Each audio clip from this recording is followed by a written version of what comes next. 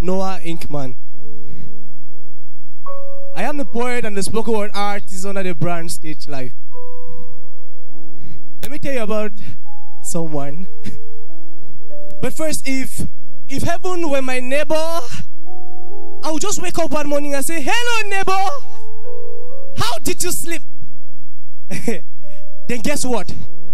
I'll go back inside. Then through my window pane, I'll say again, Hey, neighbor. How are you? Have you eaten? How's everything going? Okay. If heaven were my neighbor, breakfast time would be us time, lunch time will still be us time, and dinner time will still be us time.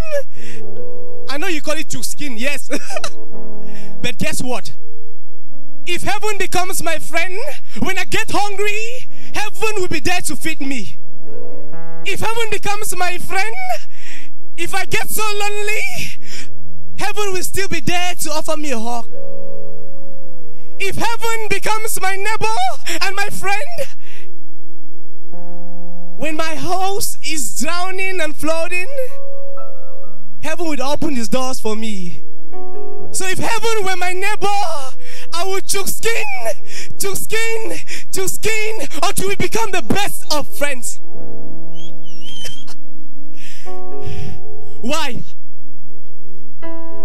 Is there so much heaviness with what we call enjoyment?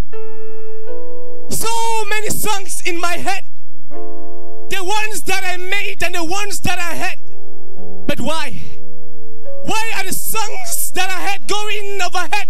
Is it the weakness of my spirit or the deafness of my mind or maybe the steam in me has lost its place and fall is searching overhead? Maybe. Maybe. Maybe I'm not meant for this stage. Maybe I'm just made for sin, believe, and be forgiven. Maybe heaven is not my destination. Maybe I should just fake heaven right here while I'm waiting bondage over there. For this sin has become reflex and it's always on replay. And I fear I can't get it off my sleeves even if I pray. Maybe. But? Why? Why does the source of our joy bring tears? Why does sugar become bile at the base of our throats? The other day I was standing before a mirror, my eyes were as wide as fire, my eyes were wearing a smile my heart never knew. A mended body with a broken spirit, feeling out of misery in my okay, and realizing the fact that my poetry had no conclusion. Yes, there was a pain I hadn't figured out, or maybe I didn't know that I was in pain. Yes, of course, I write things good enough to get the audience staring at me and smacking fingers. But there's a vacuum each time this noise is over and these stage lights go off. There's a vacuum. But then I said to fill that vacuum, I gave my life to Jesus. But the day I did, there was a bittersweet feeling. Do you know why? Bitter because I was scared of the of the unknown. Sweet because I never knew a love like this ever existed. A love that accepted me as a mess, understood my frailties, but stood firm. I have a God. I have a God who is there through it all, who understands pain without it being explained. I have a God who gave Solomon wisdom, meaning he's the creator of wisdom, and so I no longer have to be foolish.